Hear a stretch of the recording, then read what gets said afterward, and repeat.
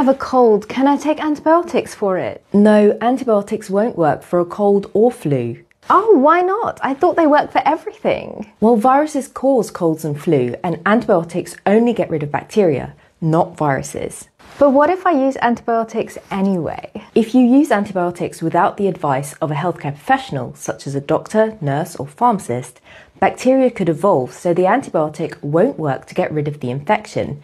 This is called antimicrobial resistance, or AMR. AMR? That sounds serious. It is, and people could die because antibiotics no longer work to kill bacteria.